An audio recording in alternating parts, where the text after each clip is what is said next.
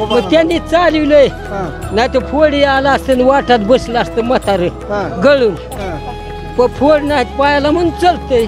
बहात्तरचा दुष्काळ सारल्यापासून. तेव्हापासून हो. हो. पाऊले चालती पंढरीची वाट. संत ज्ञानेश्वर महाराज यांचा स्वा पालखी सोहळा आज माळशिरस येथे विसावणार आहे. दरम्यान राज्यभरातून लाखो वारकरी आता हे पंढरपूरच्या दिशेने निघालेले आहेत.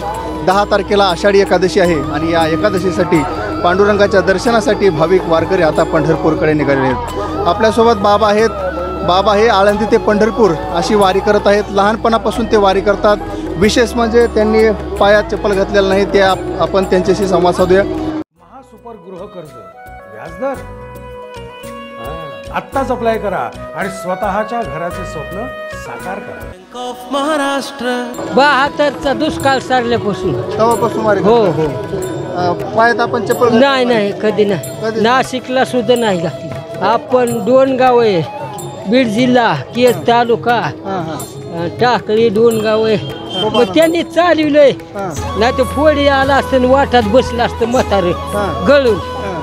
प फोड नाही पायाला म्हणून चालतंय. म्हणजे काहीच त्रास होत नाही तुम्हाला? हो हो हो. मग त्रास झाल्या कसं आहे. हां हां आता दररोज उठून चलतोय ठेक्या टाकतो हां. नाही चप्पल घालते मी. बाबा? बाबा नाही तर घालीत. कधीच नाही. कधीच घालीत नाही तर पुन्हा इतर वेळेस गावामध्ये भजनाला वगैरे?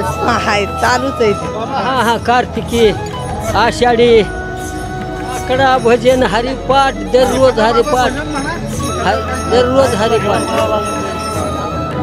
हरिपाठ दररोज आहे. सकाळ सांगचा दररोज बारा महिने. हो हो. बारा महिने. खंडन नाही हरिपाठाला काकड्याला तरी होतं एखाद्याशी खंडन परत पोरा एक गमावलंय एक शेती करतय. एक कोल्हापूरला नातू पोलीस. कॉन्स्टेबल हो. सगळं बरं? आहे. असे अडचण काय नाही.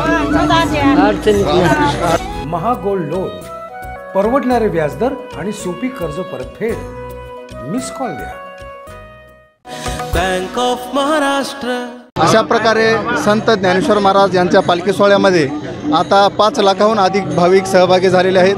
जसजसं पंढरपूर जवळ येत आहे तसतसं भाविक या सोहळ्यामध्ये संख्या भाविकांची संख्या वाढत आहे. संत ज्ञानेश्वर महाराज यांच्या पालखी सोहळ्यातील संपूर्ण अपडेट्स आपण जाणून घेणार आहोत. तुर्तास धन्यवाद. प्रीतम पुरोहितसह ज्ञानेश्वर फड डिजिटल प्रभात माळशिरस.